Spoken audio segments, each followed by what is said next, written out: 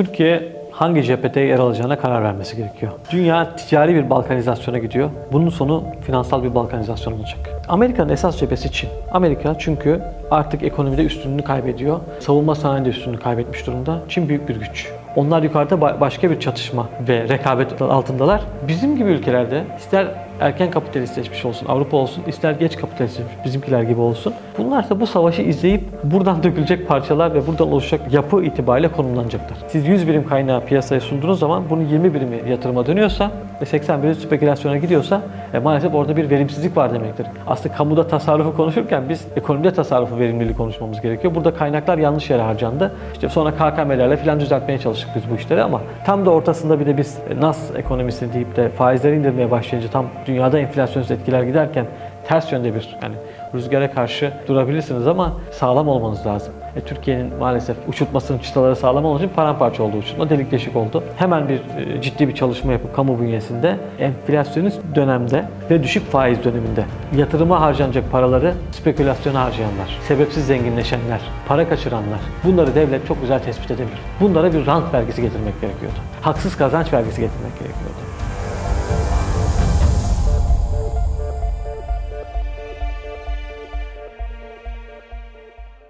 Efendim harici ekonomiye hoş geldiniz. Bu seferki konuğumuz bir gazeteci, Ekonomi Gazetecileri Derneği Başkanı Sayın Recep Erçin. Hoş geldiniz efendim. Nasılsınız? Hoş bulduk. Hariciye de hayırlı olsun. İlk defa konuk oluyorum Hariciye. Ee, güzel çalışmaları var. Söyleşileri, haberleri takip ediyoruz. Çok teşekkür ederiz. Şimdi evvela biz harici ekonomide sorularımızı genellikle dışarıdan içeriye doğru sormaktayız. Ancak bu defa karşımda bir gazeteci olunca ülkemizden başlayarak küresele doğru gitmek istedim. Şimdi öncelikli olarak 2023 Haziran'dan itibaren biliyorsunuz ki çok yüksek enflasyon ve bozulmuş makroekonomik dengelerle beraber mecburen küresel teamüllere uygun olarak tekrardan ortodoks ekonomi politikalarına geçildiğini gördük. E, bu esnada ağırlıklı olarak bu aylar içerisinde Merkez Bankası'nın para politikalarının önemli ölçüde aktif olduğuna şahit olduk. Tabii ki diğer e, makro politikaları düzenlemekle beraber son aylarda da kamu maliyesi tarafında bir takım tedbirlerin açıklandığına şahit olduk ki bunlar nelerdi baktığımızda kamunun daha önce muaf tuttuğu stopajların yeniden işte aloke edilmesi ve özellikle katma değer vergisi gibi bazı kafa karışıklıklarına yol açan vergilerin yeniden düzenlenmesi ve en nihayetinde de kamuda tasarruf genelgesinin ortaya konulmasıydı. Ki bunun esasında cesametinden çok sinyal etkisi konuşulur oldu. Keza bir rivayete göre 100 milyar liralık bir paket olduğundan söz ediliyordu. Ki 2024 yılındaki bütçe açığının yaklaşık 2,5-2,7 trilyon lira ama 2,5 trilyon olduğunu söyleyecek olursak binde dördüne falan tekabül ediyor. Şimdi bu noktada sizce tüm bu yapılanlar, şimdiye kadar yapılanlar enflasyonu düşürmede yeterli midir? Bir fayda maliyet analizi yapmanızı rica edeceğim. Tabii yani kamuda tasarruf meselesi bir kere yanlış algılanıyor. Kamu tasarruf etmez. Yani kamu önce bir harcamalarını oluşturur. Harcama bütçesi oluşturduktan sonra onun için gelirler toplamaya başlar. Çünkü kamunun öyle bir gücü vardır. Biz vatandaşlar, bireyler olarak şirketler e, özelinde de baktığımızda önce bir e, gelir toplarız. O gelire göre e, bir harcama yaparız. Kamu ise tam tersi. Önce harcama kalemlerini oluşturur, ondan sonra onun üzerine gelir toplar. E, o yüzden kamuda tasarruftan söz edemeyiz. Kamuda esnek esnek verimlilikten söz edebiliriz. E, verimli mi çalışıyor kamu? Verimli çalışmıyor. Verimli çalışmadığını da e, son yıllardaki e, gereksiz harcamalar dediğimiz kalemlerden görüyoruz ki vatandaşın çok gözüne batmaya başlamıştı e, son yıllarda. Özellikle lüks araç meselesi bir simge haline gelmişti. E, nihayetinde Mehmet Şimşek e, ve Cevdet Yılmaz'ın e, koordinasyonundaki ekonomi yönetimi e, bu yönde bir tasarrufta bulundu. Tabii kamuda e, verimlilik deyince de e, özellikle toplum yararına olacak, ülke kalkınmasına hizmet edecek ve ülke büyümesine hizmet edecek kalemlerden kesinti yapılmaması gerekiyor. E, buralardan kesinti yapılırsa ülke e, önümüzdeki dönemlerde sıkıntı yaşayabilir. E, özellikle deprem bölgesinin yaralarının sarılması noktasında tasarruflarda bulunurken daha dikkat edilmesi gerekiyor. Anladığımız kadarıyla belli yatırım, yap devlet projeleri olsun. Bu kalemlerde bir takım durdurmalara gidilecek. Atıyorum mesela metro inşaatı durdurulmaması gereken bir şey. Her ne olursa olsun. Ama bilhassa toplum yararına hizmet dediğimiz, yeşil kartlar dediğimiz, e, sosyal güvencesiz kesimlere yönelik harcamalar iyi hesap edilmeli. Tabii ki o harcamalar kesintiliye uğratılmamalı ama burada e, fayda maliyet analizi yapmak gerekiyor. Doğru e, kaynak doğru kişiye gidiyor mu diye. E, özellikle e, sizin benim gibi vatandaşların, vergisini ödeyen vatandaşların mesela e, cebinden kesilen vergilerle kamu bütçesi oluşuyor. E, sonuçta Dolaylı vergiler dediğimiz ki %60'ını oluşturmakta toplam vergi. öyle. Yani bu bu vergilerin e, doğru harcanması eğer hani toplanan vergilerin, toplanan kamu kaynağının doğru harcanması, efektif harcanması sağlanırsa zaten bir verimlilikten söz edebiliriz. Zaten tasarrufa gerek kalmaz. O noktada e, 11 trilyona ulaşan bir kamu bütçesi var. E, baktığımızda merkezi yönetim bütçesi var. E, ciddi bir açık söz konusu. E, harcamaların bu kadar artması ve açığın bu kadar artması nedeni zaten deprem. Yani 120-130 milyar doları bulan bir deprem hasarı söz konusu. Bir de önceki evvelki dönemlerde Türkiye'nin risk priminin artmasıyla beraber e, çok ciddi bir faiz ödemesi söz konusu gündeme geliyor. Faiz ödemelerinin de tabii ki e, şimdi siz bütçeyi bir yandan kısıyorsunuz ben e, tasarrufta bulunacağım diye ama çok ciddi bir de faiz gideriniz oluşuyor. Borçlanmadan Aslında kaynaklı. önemli bir noktaya şu anda girdiniz. Şimdi mesela ortodoks para politikasıyla beraber çok artan bir politika faizi var. Şimdi öncesinde biliyorsunuz faiz düşüktü, faiz giderleri de düşüktü. Ama şimdi hem cari transferlerin çok yüksek olduğunu görüyoruz. Özellikle yapılan yardımlar cihetinde hem de faiz giderlerinin çok arttığını görüyoruz. Tabii orada e, faiz ödemeleri biraz dış borçlar kaynaklı. E, şimdi bizim e, yeni dönemde hani ortodoks politika tırnak içinde söyleyeyim ki orto, oksimoron bir ortodoks politika izliyor Türkiye. Biraz sonra ona bir değiniriz. Çünkü e, geçen sene ekonomi yönetimi göreve gelir gelmez bir takım e, teknik hatalar yaptı. Enflasyonu körükleyen hatalar yaptı. Şimdi orada siz e, Türkiye'nin CDS'lerini düşürdüğünüz takdirde ve borçlanma kanallarını e, bakın ben küresel piyasalara uygun bir hale getiriyorum. Enflasyon düşürme noktasında geleneksel politikaları izleyeceğim e, mesajını verdiğiniz takdirde dışarıdan borçlanmanızın maliyeti azalıyor.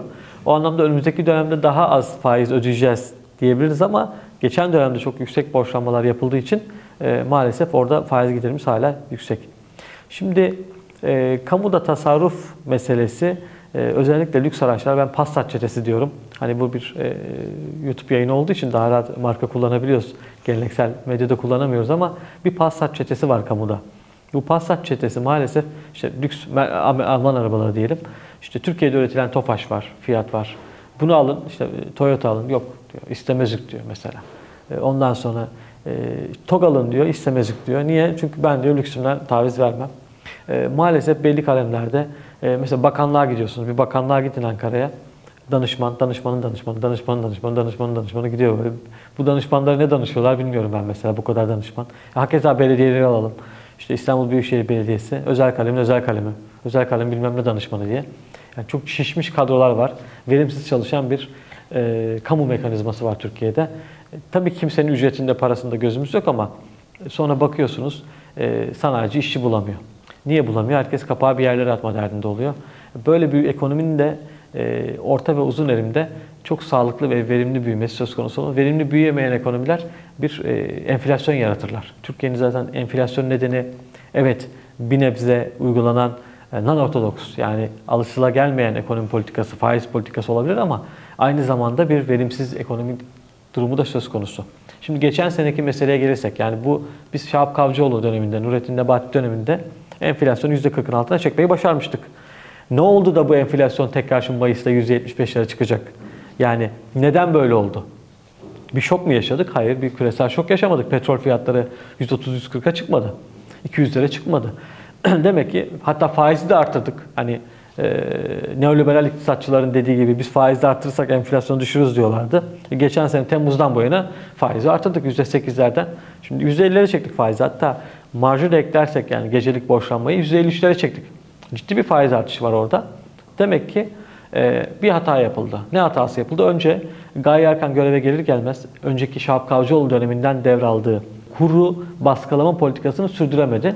Birden kuru serbest bıraktılar. Şimdi siz kuru birden serbest bırakırsanız bu yanlış. Zaten biz önceki dönemlerde e, serbest kur rejimi olduğu için kur atakları yaşadığımız için zaten bu enflasyonist dönemi, bu ekonomik bozulmayı yaşamıştık. Berat Albayrak dönemi izlenen e, kalkınmacı politikalar, e, arz yönlü politikalar maalesef e, Türk reel sektörünün e, aldığı kaynakları yatırıma değil, spekülatif alanlara Bravo. harcaması. Çok güzel bir konuya değindiniz burada. Her zaman aslında biz tasarrufların etkin yatırımlara dönüşmediğini görüyoruz. Belki de ülkemizin en temel problemlerinden bir tanesi budur. Ne dersiniz? Kesinlikle öyle. Şimdi bir defa siz 100 birim kaynağı piyasaya sunduğunuz zaman bunun 20 birimi yatırıma dönüyorsa ve 80 birimi spekülasyona gidiyorsa e, maalesef orada bir verimsizlik var demektir. Aslında kamuda tasarrufu konuşurken biz ekonomide tasarrufu verimliliği konuşmamız gerekiyor. Burada kaynaklar yanlış yere harcandı. İşte sonra KKM'lerle falan düzeltmeye çalıştık biz bu işleri ama e, şuraya gelelim. Yani tam da ortasında bir de biz e, nas ekonomisini deyip de faizleri indirmeye başlayınca tam dünyada enflasyonist etkiler giderken ters yönde bir yani rüzgara karşı e, evet durabilirsiniz ama sağlam olmanız lazım. E, Türkiye'nin maalesef e, şeyleri sağlam olmadığı için, uçurtmasının çıtaları sağlam olmadığı için paramparça oldu uçurtma, delik deşik oldu. E, geminiz rüzgarı arkasına alıp gitmek varken rüzgara karşı terste uçamaz, gidemez. O gemi yürümez yani.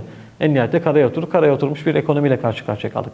Aynı şekilde biz bu kur ataklarının yaşadığı e, Türkiye'de bir fiyatlama davranışının bozulması meselesi vardı.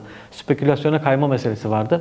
Bir de çok fazla parasal genişlemenin yarattığı etkiler de söz konusuydu. Hatta vatandaş bile carry trade'ci olmuştu. Yani nasıl olmuştu seçim, Mayıs seçim öncesi? Biz dışarıda carry trade'i kapattık swap hatlarıyla beraber. Fakat içeride vatandaş bankalardan işte bankaların kredi kartlarına veya o ek hesaplara sunduğu Para çekip orada döviz, dolar alıp Tabii tabii. 3 ay ötemeli, işte 3 ay faizsiz 20 bin lira, 30 bin lira. Neyse Peki hani burada vatandaşın hatası var mı sizce? Vatandaşa o imkanı vermeyeceksiniz. Ama vatandaşın da sorumlu davranması gerekiyor. E vatandaş da enflasyonist etkiler söz konusuysa, e, ücretleri yeterince artmıyorsa, araba fiyatları, ev fiyatları uçup gitmişse, yabancıya satış bilmem ne gibi yani. Aslında ekonomideki hani her hepimiz faiz artışını, e, faiz düşürmesini ön plana sunuyoruz ama aslında bakınca yani genel bir bozukluk söz konusuydu. Genel bir ahlaksızlık, etik durumu söz konusuydu. Sonuçta kamu bütün e, aslında piyasa ekonomisinin işlemesini sağlayan odur. Piyasa ekonomisi şöyle işler. Kamu bir karar aldığı zaman bütün piyasa aktörleri o karara uygun hareket etmek ister. Etmesi gerekir. Ederse zaten başarılı olur. İsterse o kamunun aldığı o karar e, e, non-ortodoks olsun. Yani geleneksel olmasın. Hiç fark etmez. Bugün FED bir karar aldığı zaman piyasa onunla kavga etmemeye çalışıyor. FED de piyasayla kavga etmemeye çalışıyor.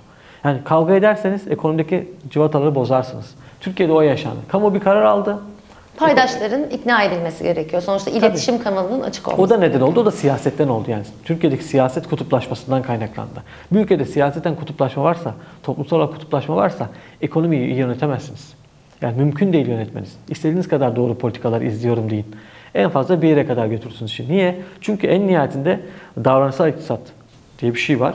Ve Beklenti yönetimi. Ekonomiyi yönet, ekonomiyi oluşturan şeyler, ekonomi bir finans, bir e, e, yapay zeka ne diyeyim e, bir şey değildir. Yani bir e, fizik fizik gibi değildir, bir kimya gibi değildir. Sosyal. E, diğer değişkenler sabitken deriz biz. Yani ceteris paribus deriz ekonomide. Ve ekonomiyi en nihayetinde ekonomi dediğimiz e, oluşumu, e, sayısal verileri ekonomik aktörlerin davranışları belirler. O ekonomik aktörler de siz, ben, kamu, kamu tarafını yöneten insanlar, şirketleri yöneten insanlar, en nihayetinde insan yönetiyor değil mi? İnsanın olduğu her yerde de psikoloji söz konusudur, sosyoloji söz konusudur. Ekonomi o yüzden ekseriyet sosyal bir bilimdir. Ekonomiyi sosyoloji oluşturur, psikoloji oluşturur. Ee, ekonomik aktörlerin aldığı kararlar oluşturur, hal ve hareketler oluşturur. O hareketlerin oluşturduğu sayısal verileri biz finans tarafında değerlendirir, yorumlarız. O sayısal veriler ekonomiyi oluşturmaz. Onlar ekonominin gidişatını belirlemez. Ekonomik gidişatını siyaset belirler, sosyoloji belirler, psikoloji belirler. Şimdi e, bu kadar kutuplaşmanın olduğu yerde siz bir politika seti oluşturduğunuz vakit buna inanç yoksa sizin yaptığınızın tersi yönde vatandaş hareket ediyorsa bağlar kopmuş demektir. E siz bir de üzerine e, serbest piyasa rejimlerinde e, her şeyin mal ve hizmetlerin fiyatını para belirler. Paranın fiyatını da faiz belirler. Faizi yanlış belirlediğiniz zaman her şeyin fiyatını yanlış belirlemiş olursunuz. Ondan sonra zaten fiyat kontrolü ortadan kalkmış olur. Nihayetinde biz zorlu bir süreç yaşadık. Geçen sene Mayıs ayında e, vatandaşın e, milli bekayı söz konusu göz önünde tutarak e, mevcut iktidarı tekrardan iktidara taşıdı. E, orada da e, mevcut iktidarda artık e, deniz bittiği için haliyle ne yapmak zorunda kaldı? E, Mehmet Şimşek'i göreve davet etmek zorunda kaldı. Çünkü e, çok ciddi bir dış kaynak ve ödemeler dengesi krizi gündeme geliyordu gelmemesi için. Hatta şunlar konuşuluyordu. Hafter'in parası getirildi bir adam da öyle ödemeler yapıldı falan gibi bir takım rivayetler söz konusu. Ne kadar doğru ne kadar değil bilmiyoruz. Tabii biz gazeteci olduğumuz için belgeli konuşmak zorundayız ama bunlar da bu söylentiler de var.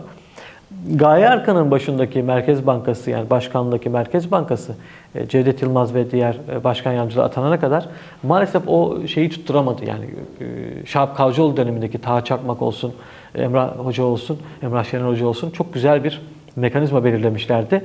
Dar alanda sıkı markeş, kambiyo rejim dediğim politika çerçevesinde döviz kurunu tutabiliyorlardı. Döviz kuru tutulduğu takdirde de en azından bir nebze de olsa enflasyonist etkiler baskılanmış oluyordu vatandaş gözünde. Peki rezervler? Rezervler konusu ayrı bir case. Onu ayrı bir soruda açalım. Çünkü hani dövizi tutmak için sonuçta hani çok yoğun bir şekilde döviz e, satışı yapılması gerekti ve bunun sonucunda da özellikle muhalefet, ana muhalefet partisinin öne sürdüğü bir takım iddialar vardı. Biliyorsunuz hatta seçimde de çok öncesinde de çok konuşulmuştu. Yani sizce peki bu şekilde kurun tutulması normal miydi? Ee, normalde değil geliriz ama şurayı bir kapatayım mesela hani pencereyi ki o pencereyi açalım sonrasında. Ee, orada kur birden patlayınca patlatılınca maalesef üstüne de Mehmet Şimşek e, dışarıdan e, uygun faizli borç alabilmek için CDS'leri düşürebilmek için e, haliyle bütçeyi toparlamak adına en kolay yolu seçti ve akaryakıt zamlarını yaptı, vergi zamlarını yaptı ki bence son derece yanlıştı. Enflasyon çünkü akaryakıtın Türkiye'de katlamalı etkisi var. Evet. Yani akaryakıta zam geldiğini gören manav bile hemen reyondaki muzuna zam yapıyor. Evet süpermarketler bu zamları yapmıyor. Süpermarketler bir sonraki yeni mal, mallar yenilendiği zaman yapıyorlar ama bakkal, çakkal dediğimiz, esnaf dediğimiz herkes kuaför bile zam yapıyor. Efendim yani. Kiralara hemen zam geliyor. Yani %25 sınırı getirdiğiniz halde tutturamadınız. Kiraya zam gelirse, akaryakıta zam gelirse, işçiye zam gelirse otomatik olarak bunun aynı oranda değil, katlamalı şekilde etkisi yaşanıyor ki ben bu konuyu da yazdım ne kadar yanlış yapıldığını. E tabii Şimşek'in de elinde o vardı. Gelir gelmez hemen toparlaması gerekiyordu. Para lazımdı. Belki mecbur kaldı. Ama bence yapılması gereken şuydu. Bir defa kuru tutmaya devam etmek gerekiyordu. Ne olursa olsun bir şekilde. E, çünkü onun etkisini biz bu seçimlerde gördük. Şimdi enflasyon niye arttı oradan bağlayacağım. E, bir taraf bir kere bütçeyi toparlayacağım diye siz akaryakıt zamlarını yapınca bir enflasyona katlama etkisini görmeye başladık önümüzdeki aylarda. Bir kere orada şey kontrolden çıktı. İp koptu yani. Halbuki yapılması gereken hemen bir e, ciddi bir çalışma yapıp kamu bünyesinde e, enflasyonist dönemde ve düşük faiz döneminde yatırıma harcanacak paraları spekülasyona harcayanlar, sebepsiz zenginleşenler, para kaçıranlar, yastık altına çekilenler bunları devlet çok güzel tespit edebilir. Bunlara bir rant vergisi getirmek gerekiyordu. Haksız kazanç vergisi getirmek gerekiyordu. Üçüncü, beşinci, yedinci, onuncu evi olanlara bir kere kiralarda sınırı tutmak yerine kardeşim bir insan neden 100 tane evi var? Peki kapitalizm sizce buna uygun mu? Yani örneğin bir servet vergisi konulmasına. Çünkü hangi ülkede olursa Kapitalizm olsun bugün- sadece hani bizim ülkemiz değil bugün mesela Amerika'da bile böyle bir vergi söz konusu olsa hani buna hükümet götüren derler. Genelde belki bakanlar, bürokratlar bunu götürür en tepeye ama hep genelde geri döner. Siz seçimleri kazandıysanız 5 yılda seçimsiz dönemse bir şekilde bunu yapmanız gerekirdi. Eğer toplumsal huzuru ve refahı sağlayacaksanız, toplumsal adaleti sağlayacaksanız bakın bozulduğu nereden gör? Gini katsayısı. Türkiye'nin Gini katsayısı yıllar yıllar itibariyle bozuluyor. Yani orta sınıf kalmadı. Arada yoksul kesimler var. Da en çok hasarı gören var. orta kesim baktığınızda. Zaten siz bu seçimleri kazandınız ama ben e, Ağustos ayında geçen sene bir televizyon kanalında şunu söyledim. Böyle dedim. Yok dış etkiler bilmem ne şuymuş buymuş bunlar hikaye. Siz bu hayat pahalılığı, siz bu gelir adaletini düzeltemediğiniz sürece yerel seçimlerde bunun faturasını göreceksiniz. Genel seçimlerde belki vatandaş size milli bekayı dikkate alarak veya muhalefetin dağınık halini e, beğenmeyerek kerhen oy verdi ama genel seçimlerde bu oyu size vermeyecek. Faturayı kesecek dedim. Ya muhalefete kayacak oylar ya da muhalefet dışı partilere kayacak. E, Dediğim oldu. Hani video duruyor e, bulabilirler. E, Ağustos ayında yaptığım konuşma. Birincisi itibariyle e, ana, ana muhalefet partisi çok yükseldi. Belli partiler onun içinde eridi. Bir de Alternatif Refah Partisi çıktı geldi. E, hakeza Zafer Partisi çıktı geldi biraz daha yükseldi. Biraz daha devam etseydi belki seçimler 3-4 ay sonra yapılsa daha da artacak gelecekti. Yapılması gereken mesele kesinlikle rant vergisi getirmek gerekiyordu. Üçüncü ev, beşinci ev onu artık neye göre hazırlayacak bilmiyorum vatandaş. Ya kamuda çalışıp, devlet bünyesinde çalışıp bakın. Devletin kurumlarında, deve, devlete bağlı şirketler çalışıp, devletin yaptığı TOKİ'lerden, emlak konut projelerinden, belediyenin yaptığı KİPTAŞ'lardan 3-5 konut alan milletvekilleri, çalışanlar, bunların yakınları. Niye yapamadıkları meselesi? İşte buradan kaynaklanıyor. Çünkü iktidarın ve onun çevresindeki insanların yediği bir rant var burada. E siz bunları şimdi çakarlı arabalarla seçim mitingi yaparken, vatandaş evine ekmeği zor götürürken, çakarlı arabalarla, lüks arabalarla seçim mitingleri yaparsanız vatandaş size tokadı yapıştırır. Daha da ağırını eğer genel seçim olsa yaşayabilirdik bu arada. Söyleyeyim. Evet, nihayetinde siz o kuru tutmayıp vergileri bindirince e, yerel seçimler öncesinde de hazır enflasyon tam böyle düşüyor mu düşmüyor mu faiz artırdık bu biraz etkisini görmeye başlıyoruz derken birden vatandaşın nezdinde bir seçimden sonra kur patlayacak 40 lira olacak 50 lira olacak algısı oluştu. Halbuki olmayacağı belliydi. Olmayacağını hep söyledik zaten ama sonunda Ama- olmadığı da görüldü. Çok haklısınız. Fakat e, siz önceki seçim kuru patlatırsanız öyle bir kötü deneyiminiz olursa hafıza e, Travmalar. vatandaş gene aynısını bekler. Aynı travmayı bekler. Eski hatta devalüasyon travmaları yani artık yerleşmiş kodlarımıza maalesef. Hakeza. İşte ekonomi iktisat dediğim yani vatandaşın davranışlarını belirlediğim o. Bir başka noktada e, siz faiz artırıyorsunuz. Bir ekonomide sıkılık oluşsun. Krediler yoluyla işte vatandaş çok harcamasın bilmem ne yapmasın diye bir o taraf var. İthale gitmesin diye. E, Ben bakıyorum aylardır e, na- nasıl bir ekonomide de yazdılar zaten bunu. İlk ben yazmıştım Türkiye'de bunu da şey yapayım. Yani bu ithalat metalat şey gündeme gelince tüketim ithalatında ciddi bir artış var. Hala devam ediyor. Yani Çünkü ucuz kur açıkçası ithalata özendiriyor. Son iki yıldır müthiş şekilde e, kurun yüksek olduğu zamanlarda da öyle. Servet etkisi o da. Bir şekilde yani bu tüketim malları ithalatı artıyor Türkiye'de. Sürekli azalmıyor. Burada bir sıkıntı var o zaman. Bu kadar aldığınız önleme karşı. Bir case'i oradan alıp koyuyorsunuz. Tüketim malları ithalatı artıyor. Ekonomide zaten yanlış. İkincisi siz faiz artırıyorsunuz. Ee, ticari krediler dönmek zorunda. Bir şekilde döndürülüyor. O hacim düşmüyor bir türlü. Tüketim bazında vatandaşta düşüyor ama ticari krediler tarafında düşmüyor. Üçüncü nokta vatandaşın siz dövizden yastık altından kaçsın TL'ye gelsin istiyorsunuz. Liralaşma istiyorsunuz. Bu yüzden de faiz veriyorsunuz ki ben eğer enflasyonist etkiler çok yüksekse enflasyon kadar vatandaşa faiz vermeniz lazım.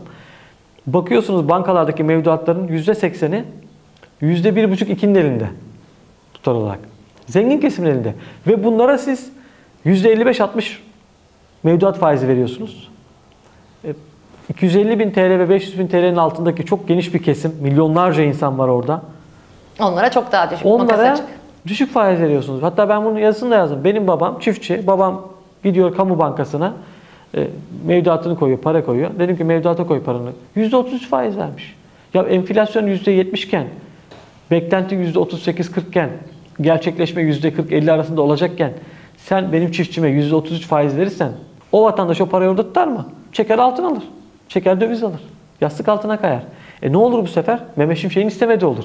Parasal aktarım mekanizması düzgün bir biçimde çalışmamış olur. Çok güzel ifade. olur. İşte Cevdet Yılmaz da Cevdet Akçay'ı sürekli söyledi. O aktarım mekanizması bozuk. Oksimoron bir durum ortaya çıkmış olur. Evet siz e, ekonomiye eğer hakikaten e, finansal büyüklükler olarak çok makro çerçeveden bakarsanız, finansçı gözüyle, neoliberal kafayla bakarsanız işte dersiniz ki ben zaten mevduatım büyük mevduat, büyük zenginlerin parasını yönlendirirsem işi kurtarırım. Sonuçta fayda maliyet analizine gelirsek yani şu ana kadar Şunu yapılanların bitireyim kurtaramazsınız. Yani kurtaramanız şu.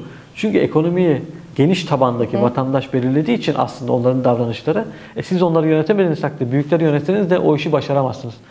Bu noktaya gelmiş olduk. O yüzden enflasyon hala yükselmeye devam ediyor. Enflasyon görünümünde, beklentilerde hala bozulma var. Nitekim Merkez Bankası benim o yazım sonrası enflasyon raporunda, ikinci raporda bu büyük montanlı mevduatlarla küçük montanlı mevduatlar arasındaki faiz farkına dikkat çeken bir e, çalışma yaptı. İkinci çalışmanın ise şurada olması gerekiyor. Bu da çok önemli mesele. Sektör e, endekslerine, verilerin istatistiklerine baktığımız zaman TÜİK'te son 3 yıldır muazzam bir net karlılık artışı var sektörlerde. Kardeşim enflasyonun çok çok üzerinde bir net karlılık artışı nereden geliyor? Bu fiktif mi değil mi? Bunun araştırılması lazım. E, burada bir açgözlülük enflasyonu Greedflation dedikleri değil mi? açgözlülük enflasyon. enflasyonu mu söz konusu şirketlerde varsa hangi sektörlerde var bunun üzerine gidilmesi gerekiyor. Burada e, bazı şirketlerin yüksek karlılıklarının sorgulanması gerekiyor. Şimdi bakıyorsunuz sanayide dıdısının dıdısı bir şirket diyelim. Çelik sanayi, çelik sektör olur. Bilmem ne olur falan. Civat olur, çimento olur falan. Diyorsun ki ya bunun enflasyon çok etkisi olmaz. Hayır oluyor. O ham maddenin katlamalı etkisi oluyor. Yani şu bar, su bardağın üretildiği cam, şişe cam diyelim firması.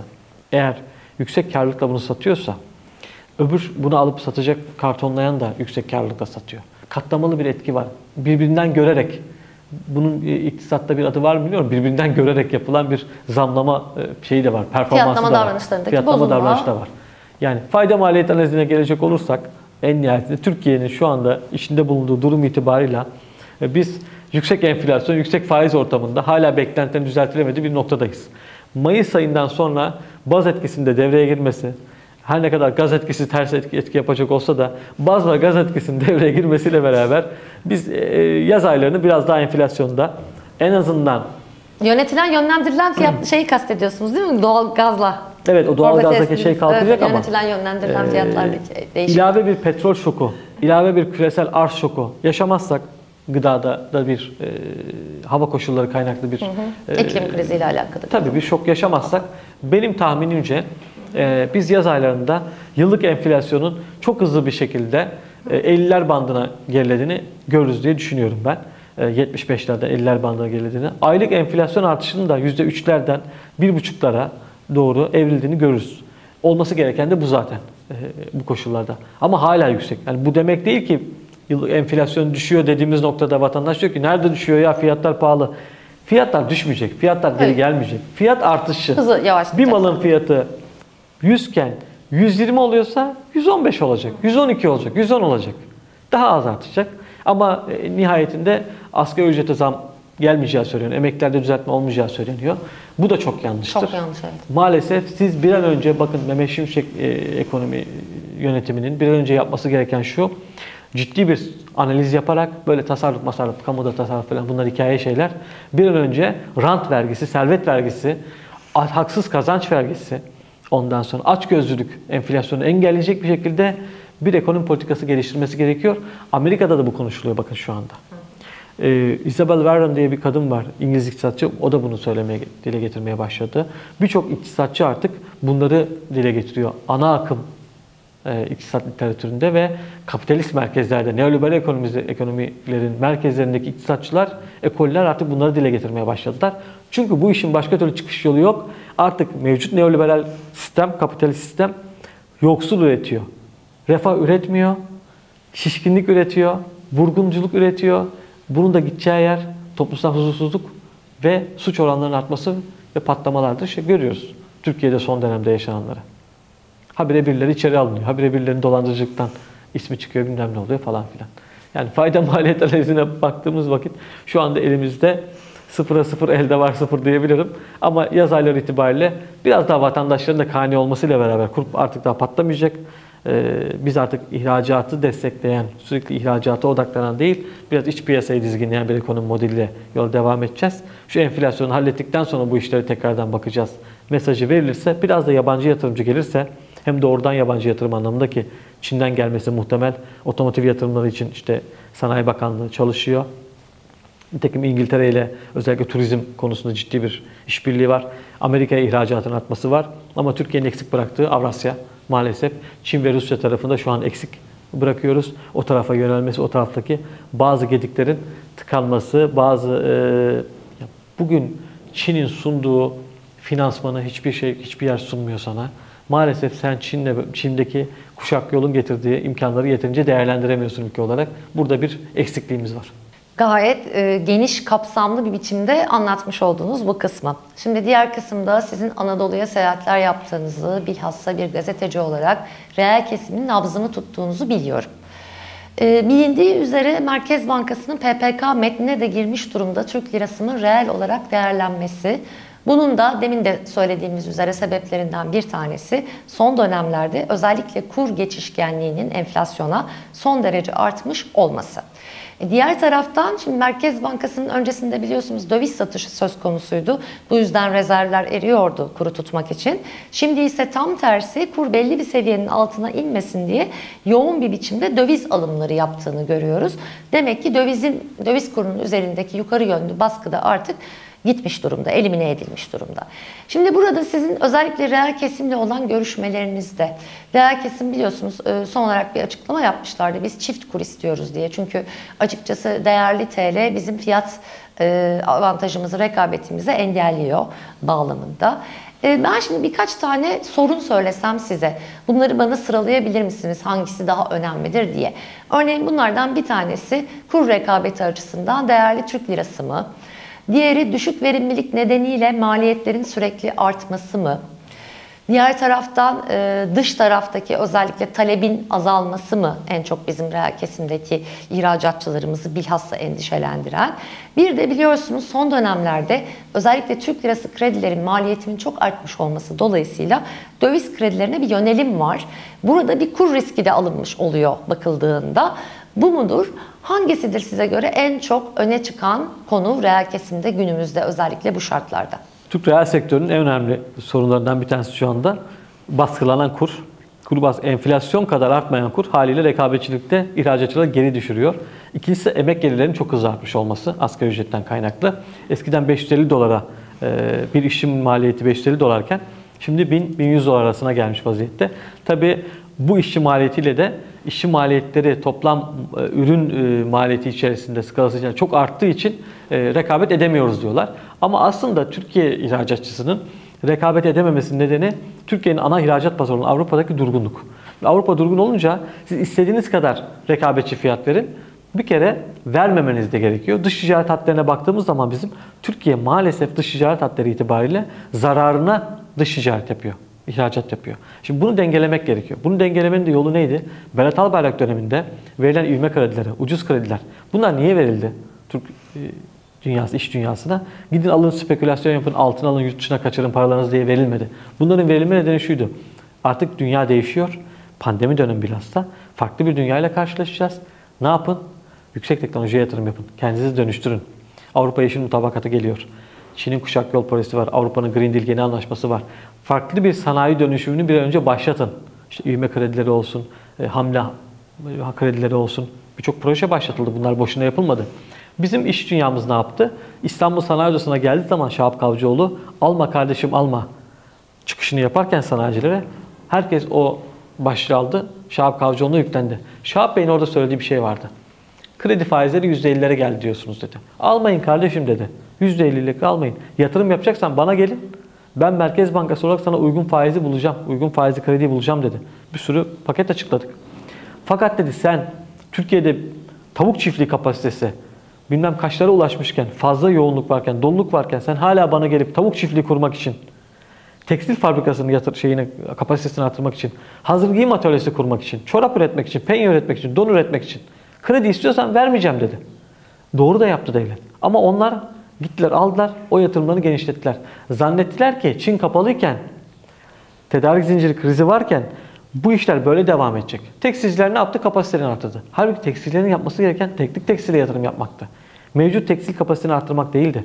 Dünyanın buraya gitmeyeceği belliydi. Hazır giyimde don atlet tesisi açmak yerine biz acaba ne yaparız da bu mevcut mallara, yeni trendlere uyarız? Farklı ne yapabiliriz'i konuşmaktı. Örneğin markalaşma konusunda pek bir çalışma olmadığını görüyoruz. Markalaşma işi zor iş. Ülke markası da olmakla alakalı bir şey ama en nihayetinde Türkiye'nin başka bir yere evrilmesi gerekiyor. Türkiye çünkü... Ama örneğin şimdi lafınızı keseceğim burada balla.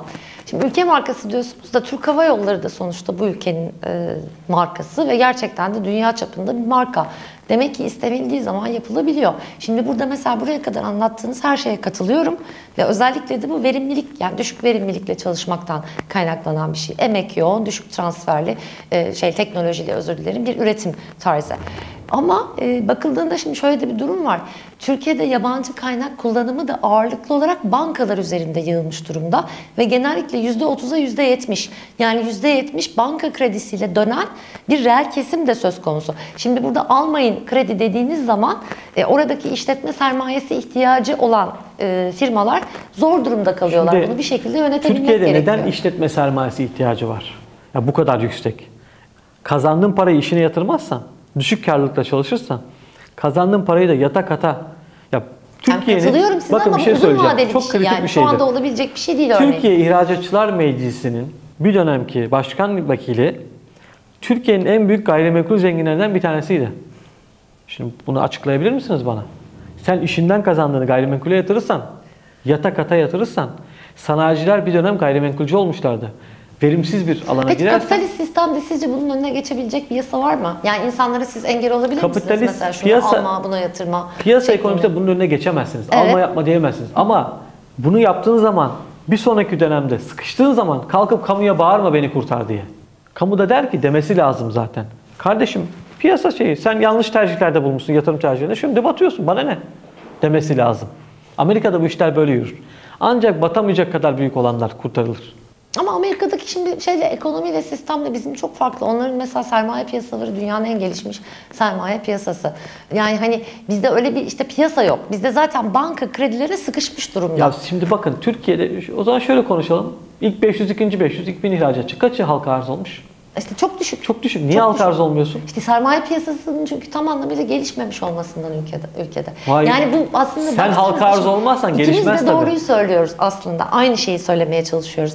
Yani sistemsel açıdan pek çok eksiklik var ve bu eksiklik zaman içerisinde reel kesimde çok ciddi yapısal sorunlar oluşturmuş. Hani bunları aşmadığımız sürece aslında herkes haklı baktığınızda. Şimdi- Firma da haklı, onu vermeyen sanayici de haklı, yönetim de haklı. Haksız hiçbir kurumu göremiyorum ben. Firma haklı değil. Onu, onu geçelim lütfen. Firmalar kızacak bize. Yok yok hiç önemli değil. Firma falan haklı değil. Haklı olanlar var. Şimdi bir firma yatırım yapmak için bir OSB'ye gittiği zaman yatırımın fabrika bedelinden daha fazla bir arsa maliyeti çıkıyorsa orada firma haklı. Devlet firmalara bakın burada değişiklik yapılması gerekiyor. Yatırım yapacak, sanayi tesisi kuracak firmaya yerin bedava tahsis edilmesi lazım. Aynı özel dönemde turizmde yapıldığı gibi. Yani 55 yılına kiralayacaksın gerekirse. OSB'lerde rantçı kesimler oluşmuş durumda. OSB mafyaları oluşmuş durumda. Bunların önüne geçmek gerekiyor. Çok yakın örneğimden biliyorum. Bir iş insanı arkadaşımız ki kendisi Dünya Dericiler Başkanı. Balıkesir'de bir OSB'ye yatırım yapıyor. Engel işte, hava parası, ma parası bilmem ne bir sürü cıva çıkartılıyor işte falan filan. Hava cıva çıkartılıyor.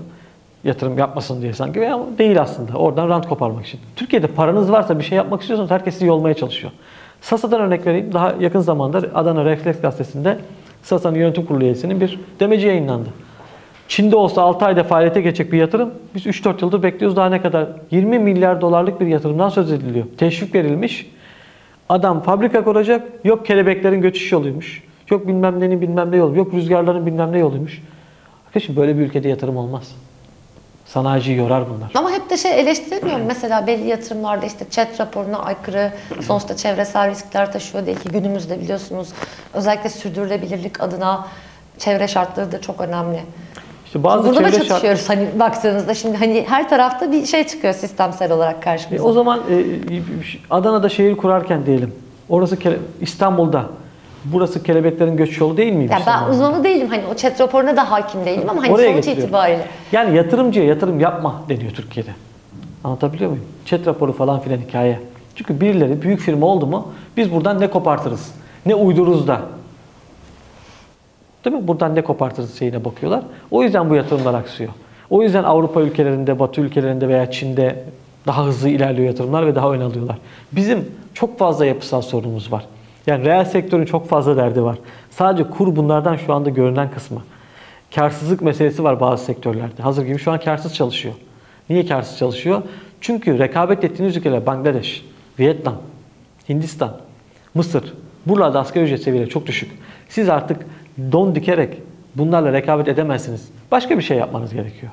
Ne yapacaksın? E sen de iş dünyası müteşebbissin. Müteşebbis olmak kolay değil. Ya dükkanı kapatacaksın ya da diyeceksin ki ben başka bir iş yapacağım. Kuş konduracağım. Kuş konduracaksın. Yapacak bir şey yok. Kamu bana sürekli kuru yükseltsin, devalüasyon yapsın, kur rekabetçiliği versin. Ben bununla mal satayım.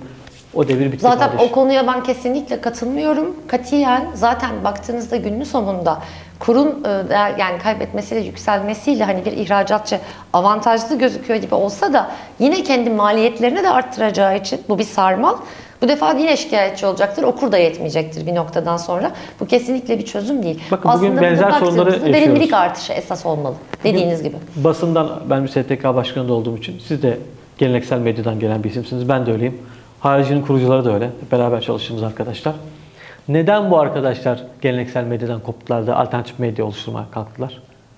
Çünkü ücretler o kadar düştü ki, o kadar geçim sıkıntısı yaşandı ki, o kadar kadrolar küçüldü ki, o kadar yoğun bir iş temposu vardı ki. Yani fiyat kazanç mekanizması, iş mekanizması koptu ki. Ne yapıldı? Alternatif yollar yapmamız lazım. Farklı şeyler geliştirmemiz gerekiyor. Hem para kazanmak anlamında olsun, hem daha rahat çalışma ortamında olsun, hem daha esnek çalışma ortamında olsun.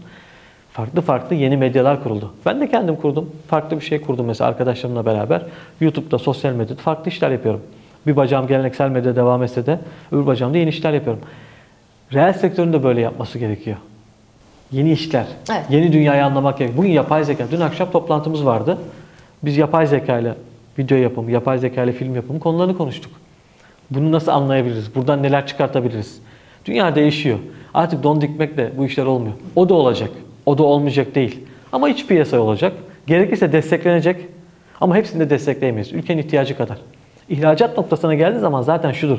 Yani serbest piyasa ve neoliberal ekonomilerde Türkiye dünyayı şu anda zaten büyük bir kısmı Türkiye'nin de ihracat anlamında baktığı zaman neoliberal ekonomiler çerçevesinde ilerliyor.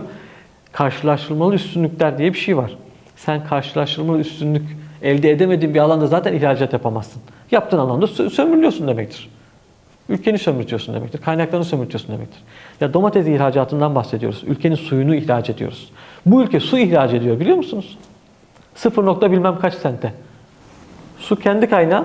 Su stresi çeken bir Tereye ülkeyiz. falan mı? Marka verdim ama şimdi yani şey mineralli su mu? Mineral Marka su. mı? Hayır ma- maden bildiğimiz Değil. su ya. Bildiğimiz Enteresan. su. Sayarım kadar su markalarını. yani. 0.18 santim, 34 santim böyle bir şey. Dışındaki pet şişe, petrokimya türevi. Ham maddesi ithal. O Zaten sorunumuz o, türevi ham bağımlılık. maddesini pet şişe haline getirirken kullandığın enerji ithal. Onu ihraç ederken lojistik kullandığın ithal, arabası ithal, kamyonu ithal, lastiği ithal, benzini ithal, mazotu ithal. İçindeki su sana ait. Su da oradaki en değersiz şey. Asıl ambalajı satıyorsun. Ambalaj sana ait değil zaten. Ama ülken su stresi çekiyor. Su kıtlığı var. Ama onu dışarıya satıyorsun. Litresi önemli değil. Saçmalık. Derhal yasaklanması gereken bir şey. Doğru, Çimento. kesinlikle. Satılmaması gerekiyor ülke dışına. Çimento ihracatını yasaklaması lazım.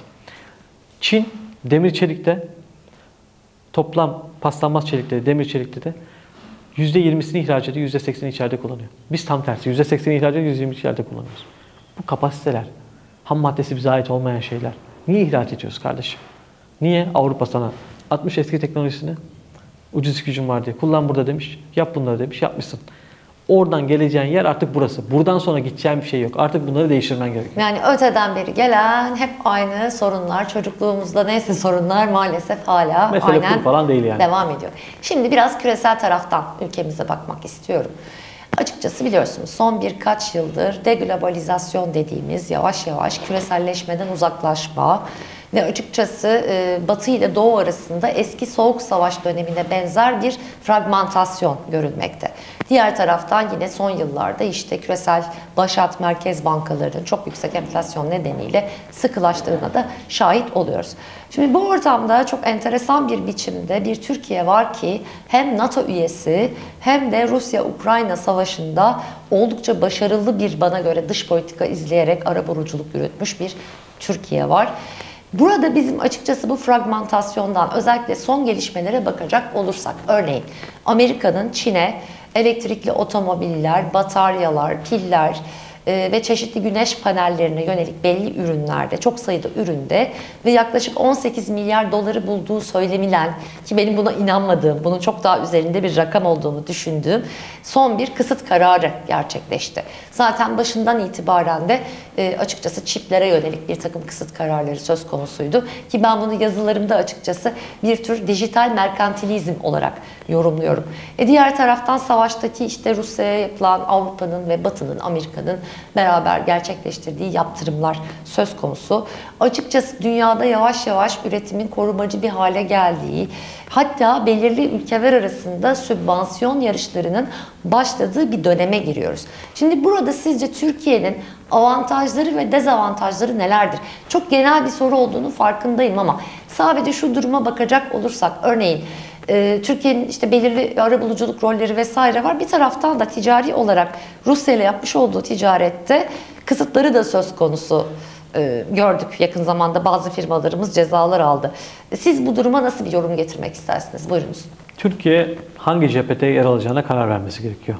Çok zor. Dünya Söylediğiniz şey çok zor. Dünya ticari bir balkanizasyona gidiyor. Bunun sonu finansal bir balkanizasyon olacak. Net bir şekilde söyleyelim. İngiltere ayrı bir telden çalıyor. Net bir şekilde artık Avrupa, Amerika güdümünden kopma noktasında. Avrupa içerisinde Güney Avrupa dediğimiz İtalya, Fransa, yer yer İspanya bugün e, Filistin konusunda aldığı kararlar çerçevesinde duruş baktığımızda İrlanda ve İspanya özellikle öne çıktı. başka bir yere gidiyor. İtalyanlardan da dinliyoruz. Onlar da artık bu Amerikan güdümünden çıkmak taraftarlar. Almanya Rusya ile olan enerji bağları Amerika tarafından kopartıldı ve Rus enerji kaynaklarının Alman sanayiyle entegrasyonu bozularak aslında Alman ekonomisine büyük bir dinamit kondu altına. Bunu Almanların kendileri ifade ediyorlar. Almanya burada nereye gideceğine karar vermek zorunda. Ee, Rusya, Çin'le yakın zamanda gene Xi Jinping'in ziyareti oldu. Putin'in e, şeye ziyareti oldu. İlk ziyareti Putin'in Çin'e oldu savaştan sonra. Amerika'daki bir kesimin e, biz Çin'le Amerika'nın esas cephesi Çin. Amerika çünkü artık ekonomide üstünlüğünü kaybediyor. E, savunma sanayinde üstünlüğünü kaybetmiş durumda. Çin büyük bir güç olarak dünyanın doğusunda bir çip olarak, bir denge unsuru olarak duruyor. Bu dünya için, dünya halkları açısından olumlu bir şey. Çünkü Amerikan hegemonyasının kırılması gerekiyordu. Alternatif oluşması en azından. Bu kadar ben dedim dedik, çaldım dedik bir yapı olamazdı zaten. E, çünkü e, bütün dünyanın kaderi Sayın Cumhurbaşkanı ifade ettiği gibi 5 kişiye bırakılamaz. Beş Evet, ülkeye dünya bırakılamaz. beşten büyüktür. Gerçekten Dünya çok önemli büyüktür. bir laf. Rusya ile Çin'in hem finansal mimari anlamında hem ticaret anlamındaki ittifakı ve ilişkisi Çin'in artan nüfusuyla beraber Körfez ülkelerini kendi çerçevesine alması, kuşak yolla beraber Avrupa'ya ulaşması, her ne kadar Yunanistan'la İtalya ile bağlarını kırmış olsalar da son dönemde ben alttan alta ilişkilerin yürüdüğünü düşünüyorum hala bir şekilde. Yeni bir dünya düzeni söz konusu. Bu yeni dünya düzeninde bilhassa geleneksel ticaretin dışında Amerika'nın tehdit olarak gördüğü yeni teknolojiler, bulut teknolojileri, yeşil enerji. Ne yaptı Batı tarafı? Dünya dedi küresel ısınma var, gezegen hayatına devam edecek fakat insan yaşamının ve insan medeniyetinin sürdürülebilmesi için biz artık mevcut sanayi yapımızı değiştirmemiz, yeşil ekonomiye geçmemiz gerekiyor dedi. Bunun için de yapmamız gereken dedi yeşil teknolojiler, güneş pilleri olsun, te- elektrikli araçlar olsun, e, karbon yakıtların azaltılması olsun, dekarbonizasyon olsun vesaire. Bir de baktılar ki, aa biz bunları söylerken birileri bunu yapmış bile. Çin bunu yapmış. Halbuki bütün bu uygula, uydurulan senaryolar içerisindeki yapılan şey aslında Çin'in yükselişini, Asya'nın, Avrasya ülkelerinin yükselişi, ekonomideki yükselişini dengeleyip yeni bir korumacı önlemler, yeni bir yeşil duvar çekmekti. Fakat baktılar ya biz bu yeşil duvarı aslında çeksek bile bunlar bu yeşil duvarı geçecekler. Çünkü bunların yetkinlikleri bu alana yönelmiş durumda. Ne yaptı bu sefer Amerika? Ben dedi korumacılık önlemlerine gidiyorum. İşte milli güvenlik unsuru, milli güvenlik meselesi diyerek Çin'e Evet. takım Jack e, Sullivan'ın açıklaması var ve ayrıca Avrupa'nın da keza açıklamaları var. Ulusal Rus- güvenlik riski. Rusya'ya e, Rusya'yı Ukrayna'ya sokarak kaşıdılar ve Rus gazının piyasadan çekilmesi için, Rus enerji kaynaklarının piyasadan çekilmesi için ona yaptırım uyguladılar. Sonra Amerika gitti LNG sattı. Kendi karbon kaynaklarını tüketti. Çünkü şu anda şunu da söylememizde fayda var izleyenler açısından. Amerika son yıllarda dünyanın en büyük fosil enerji ihracatçısı durumunda. Aynen öyle. Bir 20 yıl önce buna inanamazdık değil mi? Kesinlikle. Çin'i yeşilden dengelemeye çalışıyor. Rusya'yı enerji tarafından yaptırımlarla dengelemeye çalışıyor.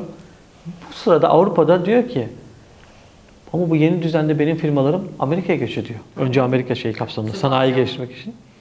Ben o zaman bu firmaların gitmesini engellemem lazım. Ne yaparım diyor. Ben de Google'a ceza keserim diyor. Senin teknoloji titanlarına ceza keserim diyor. Aslında orada da Batı ittifakı tarafında da NATO ülkeleri arasında da bir rekabet ve çatışma var. Devam ediyor. İşte Macron ayrı telden çalıyor, bir ayrı telden çalıyor filan. Bu yeni dünya düzeninde Amerika ile Çin yeni teknolojiler anlamında alıp başını gitmiş vaziyette kesinlikle. Onlar yukarıda ba- başka bir çatışma ve rekabet alt- alt- altındalar. Bizim gibi ülkelerde, bizim ve benzeri ülkelerde ister erken kapitalistleşmiş olsun, Avrupa olsun, ister geç kapitalistleşmiş bizimkiler gibi olsun. Bunlar da bu savaşı izleyip buradan dökülecek parçalar ve buradan oluşacak e, yapı itibariyle konumlanacaklar. Türkiye bunun Türkiye'nin bunu izleye, iyi izleyebildiği düşüncesinde değilim açıkçası. Ee, Türkiye hala Avrupa Birliği'ne girelim, gümrük birliğinde kalayım, yok gümrük birliğini güncelleyeyim. Ee, Amerikan yaptırımları çerçevesinde işte Rusya'dan gelen ödemeleri kısıtlayayım. Ee, yok Amerika höt dedi diye Çin'de işbirliğimi geciktireyim. Bunlar olmaz. Bunlarla Türkiye'nin gideceği bir yer yok. Türkiye yeni konumlanmada yeni dünyanın İsviçre'si olabilir. Türkiye açık bir toplum, açık bir coğrafya, coğrafi konum, jeopolitik konum diyoruz ya. Jeopolitik konumu itibariyle Türkiye'nin kapalı bir rejim, bir bloka dahil olması söz konusu olamaz. Türkiye bloklar arasında bir geçiş ülkesi olabilir. Çok doğru bir tespit bence. Güçlü bir orduya sahip olması gerekir. Güçlü teknolojiye sahip olması gerekir. İttifaklar arasında ittifakın bulunduğu bir merkez olabilir. Aslında kendine sanki son zamanlarda özellikle dış politika hamleleriyle yeni bir rota çizdiğime de şahit oluyoruz. İşte gaz merkezi olma meselesi Evet. Rusya'nın öne sürdüğü. Hub olma meselesi özellikle Aslında yine buydu. e, özellikle yine Irak'la alakalı proje İstanbul Finans Merkezi konuşulan- olsun, Evet, işte evet. Irak'taki o Bağdat yolu Evet, olsun, evet.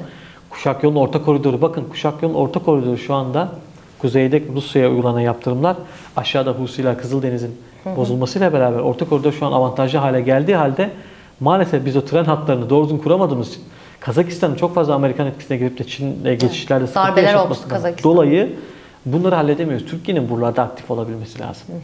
Nitekim Özbekistan, Türkmenistan'da biraz aktif olabiliyoruz ama Kazakistan aşmasını hala aşamadık. Ki Kazakistan çok önemli bir nokta. Özellikle orada darbe çıkarttılar mesela geçtiğimiz yıllarda. Kesinlikle ya. Bir Türkiye'nin Çin'in kuşak yol projesindeki orta koridoru mutlaka hayata geçirmesi, hızlı tren hatları, ki oradan gelecek yeşil Bu kalkınma yolu çekmesi. projesi hakkında ne düşünüyorsunuz? Son olarak özellikle. Kalkınma yolu projesi e, hayata geçer ama çok büyük bir ekonomik etkisi olacağını düşünmüyorum. Çok sonuçta İran ekonomik yapısı gücü belli. Ülkeleri belli bir refaha taşıyan şey sanayilerin teknoloji düzeyidir. Türkiye bugün Avrupa ile Çin arasındaki en büyük çeşitli sanayiye sahip ülke. Öyle veya böyle. Ama yine alternatif bir yol mesela işte Süveyş'e alternatif olabilecek bir yol baktığınızda. Ticaret anlamında tabii ki doğru. Onda bir sıkıntı yok. Ama Türkiye'ye katlamalı etkisi yok. Faydası var ama ben başka bir şeyden bahsediyorum. Yani e, mevcut ekonomik modelde her zaman sanayileşmede ileri olan ülkeler ileri gitmiştir. Ticarette istediğiniz kadar ileri gidin. Bugün Singapur istediği kadar serbest bir şey rejim olsun. Dubai. Bugün Dubai sanayileşemediği zaman Singapur'un bu arada kişi başına düşen geliri 67 bin dolar. Geçen gün yazımda çünkü belirttim. Çok enteresan bir özelliği var. Cari fazlası %10'un üzerinde olan ülkelerden ama 65 yılından itibaren hiç demokratik olmayan yollarla yönetilmiş. Ya onu benim- dışarıya karşı kendisinin yasalarla çok güzel korumuş paralar gelmiş. Fakat içeride astığım astık, kestiğim kestik bir rejim. Ya o beni belirlemiş. ilgilendirmiyor. Yani beni ilgilendiren mesele şu. Singapur Yani istedik- örnek olması açısından Ha. söylüyorum. Çünkü bakınız özellikle şuna e, size sormak isterim. Hatta dikkat çekmek isterim. Şimdi dünyada cari fazlası çok yoğun olan ülkeler genelde doğal kaynakları yüksek olan ülkeler. Yani petro dolar sahibi ülkeler gibi. Diğer taraftan Singapur işte bunun şeyini oluşturuyor. Bir e, istisnasını oluşturuyor. Oraya da baktığınız zaman orada da ilginç bir yapı var. Hani içeride hiç demokratik olmayan ama dışarıya tam tersi batıya o neoliberal sisteme çok uygun yasalar e, çıkartan otokratik bir yönetim. Yani ya böyle işte çok acı bir şekilde gelmiş bu işler ya da böyle petrolle gelmiş. Yani finans kapitalin merkezlerinden bir tanesi finans merkezleri. Şimdi finans merkezi olabilirsiniz. Bu size zenginlik, refah sağlayabilir. Milli gelir anlamında büyüklük sağlayabilir. Ama onun ekmeğini zaten başkaları yer. Kağıt üstünde onlar görünür. Ticaret ülkesi olabilirsiniz, serbest geçiş ülkesi olursunuz, Dubai gibi. Bir zenginliğiniz olabilir. Ama ordunuz olmaz. Katar, bugün doğal kaynakların var. Ordun yok, sanayin yok. Bugün Suudi Arabistan, ordusu var ama sanayisi yok. Ne yapıyor? Doğal kaynağı var, cari fazla veriyor ama ne yapıyor? Sanayileşmeye gidiyor. Aramco en büyük şirketi. Neon projesi kuracağım diyor, sanayimi geliştireceğim diyor, bilmem ne yapacağım diyor. Mesele sanayidir. Tabii. Üretimdir. Yani üretim gücünüz varsa... Kalkınma hamleleridir daha doğrusu. E, Komplike bir durum. Yani hukukla, Türkiye'de sosyal... burada tabii ki gazda geçiş yolu olalım. Artı avantajdır. Bir güç sağlar. Kalkınma yolu projesi, kuşak yol projesi, lojistik hatları projesi. Bunlar Türkiye'ye artı katma değer sağlar. Ancak sanayiniz yoksa bunların hiçbirisi işte bir pandemi krizi olur, tak bütün yollar durur, senin bütün hatların kesilir. Bir finansal kriz olur, bütün bankaların işi boş olur, bilmem ne olur, finans merkezleri çöker. Ama sanayin varsa, yani tarımın varsa, geleneksel sektörlerde teknolojiyi kullanabiliyorsan, Sanayi ve beşeri sermaye sanıyorum artık günümüzde çünkü hizmet sektörü de çok ön plana çıkmış durumda. Özellikle patent sayıları vesaire bunda Çin biliyorsunuz hakim ardından da ABD geliyor. Aslında günümüzde artık kalkınmanın ölçütü olarak görülüyor. Çünkü ekonomide artık sanayi devriminden sonraki bir süreç yaşanıyor. E, Şimdi artık bildiğimiz ölçüde hani o fabrikalarda yapılan üretimden mada aslında belirli buluşlarla teknolojik manada yenilik yapılabilen alanda hizmet sektörü de çok ön plana çıkmış durumda. Biraz Dolayısıyla önce- burada beşeri sermayeyi de aslında bence bir arada yürütmeliyiz. Biraz önce size ifade ettiğim aslında oydu. Yani yapay zeka falan konuşurken bulut teknolojisi anlamında Amerika ve Çin'in alıp başına gitmesini meselesini konuşurken bulut ekonomisi diyoruz ona aslında. E, Varoufakis bunu geçenlerde e, Sapanca'da bir zirvede dile getirdi. Ondan atıf yapıyorum. Yani bu alanlarda eğer bir şeyler sağlayabiliyorsan refaha ulaşır ve gücünü korursun. Yoksa tabii ki kalkınma yolu olması lazım. Bunlar artı avantajlardır ama bunlarla ekonomi kalkınmaz. Kalkınma yoluyla ekonomi kalkınmaz. İnşaat yaparak, bedesten yaparak, e, yol yaparak, köprü yaparak ekonomi kalkınmaz. Bunlar lazımdır, yapılması gerekir. Ama sana para kazandıracak, seni güçlü olan, kılacak olan şey sanayindir. Sanayini dönüştürmendir. Ve hizmetler tarafını dediniz belki orada dijitalizasyon tarafında atılması gereken adımlardır. Yoksa başka türlü oyda belini durursunuz yani. Harika. Peki e, çok teşekkür ederim. Gerçekten çok keyifli bir sohbet oldu. Zamanın nasıl geçtiğini anlayamadım. Bu defaki konuğumuz e, Sayın Recep Erçin'di. Çok teşekkürler. Görüşmek üzere. Sevgiler, saygılar.